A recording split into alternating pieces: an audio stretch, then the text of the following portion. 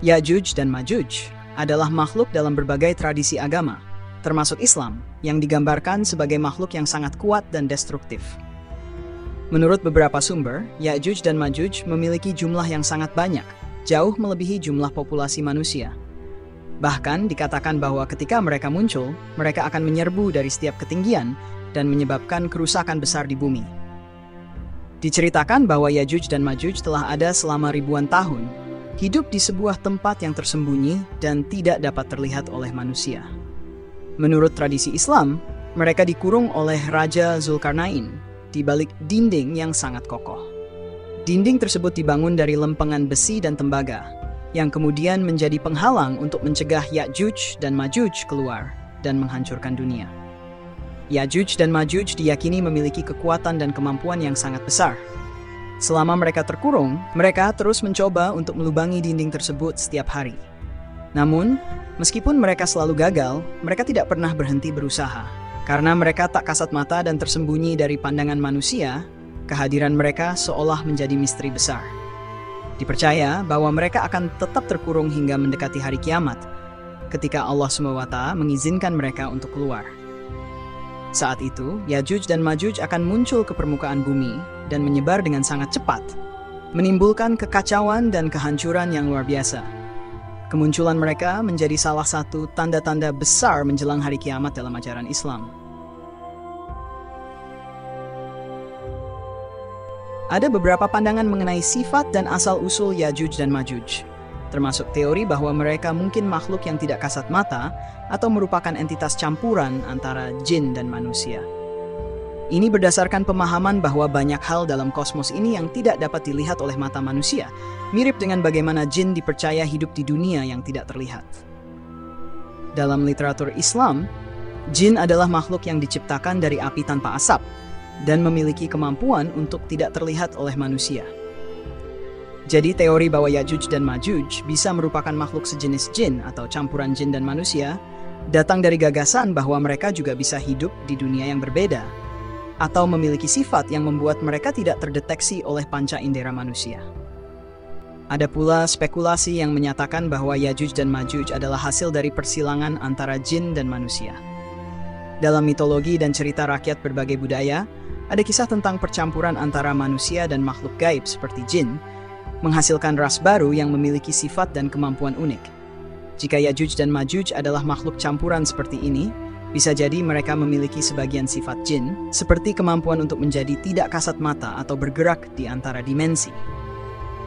Pandangan Islam klasik dalam pandangan klasik Islam, Yajuj dan Majuj sering digambarkan sebagai manusia yang berjumlah sangat banyak, berwajah lebar, dan memiliki sifat merusak.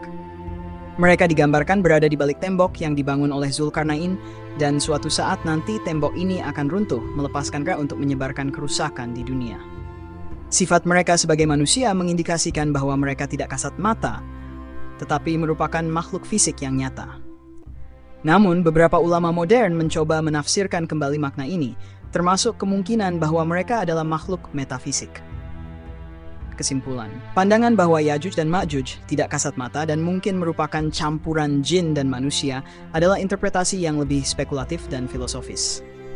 Meskipun pandangan ini tidak banyak didukung oleh literatur Islam klasik, ia tetap menjadi bahan diskusi di antara ulama dan pemikir modern yang mencoba memahami esensi dari kisah Ya'juj dan Ma'juj dalam konteks yang lebih luas. Jika Yajuj dan Majuj adalah ras manusia murni, keberadaan mereka selama ribuan tahun dengan jumlah yang begitu banyak menimbulkan pertanyaan besar.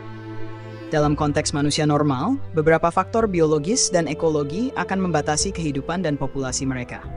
Pertanyaan seperti umur panjang, reproduksi, makanan, dan lingkungan menjadi pusat diskusi ini. 1. Umur panjang Manusia pada umumnya memiliki batasan umur sekitar 70-100 tahun. Jika Yajuj dan Majuj adalah manusia biasa, bagaimana mungkin mereka bisa bertahan selama ribuan tahun? Salah satu kemungkinan adalah mereka memiliki kemampuan biologis unik yang membuat mereka mampu hidup lebih lama daripada manusia rata-rata. Mungkin dengan usia yang sangat panjang atau kemampuan untuk beregenerasi. Dalam banyak kisah dan mitos, Yajuj dan Majuj digambarkan sebagai makhluk yang memiliki keistimewaan ini. 2. Populasi besar Yajuj dan Majuj sering digambarkan sebagai bangsa dengan jumlah yang sangat besar, hingga dikatakan bahwa mereka bisa menenggelamkan dunia dengan banyaknya jumlah mereka. Jika mereka manusia murni, salah satu penjelasan adalah tingkat reproduksi mereka yang sangat tinggi dan kecepatan berkembang biak yang luar biasa. Namun, ini juga membawa masalah sumber daya. Manusia memerlukan makanan, air, dan tempat tinggal. Bagaimana mereka dapat memenuhi kebutuhan ini tanpa mengalami kelangkaan sumber daya selama ribuan tahun? Mungkin mereka hidup di lingkungan yang tersembunyi dan subur, yang mampu menopang populasi besar ini tanpa terdeteksi oleh dunia luar. 3. Sumber daya dan lingkungan Dalam cerita-cerita yang ada, Ya'juj dan Ma'juj diyakini berada di suatu tempat yang terisolasi, mungkin di balik tembok yang dibangun oleh Zulkarnain. Jika mereka memang hidup di tempat tersembunyi, bagaimana mungkin mereka bisa terus mendapatkan makanan dan air? Dalam skenario ini, mungkin tempat tinggal mereka adalah wilayah yang kaya akan sumber daya, atau mereka memiliki teknologi atau kemampuan khusus untuk mengolah lingkungan mereka secara efisien. Mitos atau fakta?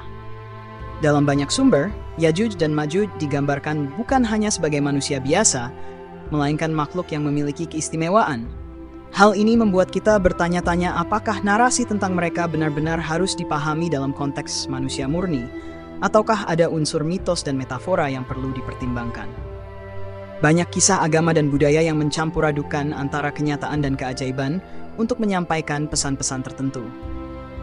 Jika mereka benar-benar manusia murni, keberlangsungan hidup mereka selama ribuan tahun dengan populasi yang besar menuntut adanya penjelasan yang melampaui pemahaman kita tentang biologi manusia saat ini. Bisa jadi, Yajuj dan Majuj memiliki sifat-sifat unik yang belum kita ketahui, atau kisah mereka memiliki makna lain di luar pemahaman literal. Ada pandangan yang menyebutkan bahwa Yajuj dan Majuj memiliki ciri fisik yang khas. Salah satunya adalah mata mereka yang sipit. Dalam beberapa interpretasi, ciri-ciri fisik ini digambarkan sebagai bagian dari sifat mereka yang berbeda dengan manusia pada umumnya. Karena keterbatasan informasi yang ada, beberapa ulama dan ahli tafsir berpendapat bahwa Yajuj dan Majuj mungkin merupakan bangsa atau kelompok manusia yang belum dikenal, atau bahkan campuran antara manusia dan makhluk lain, seperti jin. Pendapat yang menyebut bahwa Yajuj dan Majuj adalah ras campuran dengan jin didasari oleh sifat mereka yang liar dan tidak kenal belas kasihan. Namun pandangan ini lebih bersifat spekulatif karena tidak ada bukti konkret yang mendukungnya. Mata yang sipit sering kali diasosiasikan dengan ciri-ciri fisik beberapa bangsa di dunia. Namun untuk menghubungkannya secara langsung dengan makhluk Yajuj dan Majuj memerlukan pendekatan yang lebih mendalam dan bukti lebih jelas. Dalam beberapa kisah, mata mereka digambarkan seperti mata jin, tajam, menakutkan, dan penuh dengan amarah. Mata sipit ini sering kali membuat mereka terlihat berbeda dari manusia pada umumnya, memberikan mereka kesan makhluk asing yang berasal dari dunia lain. Dalam pandangan lain, Yajuj dan Majuj dikatakan memiliki rupa yang buas dan menakutkan.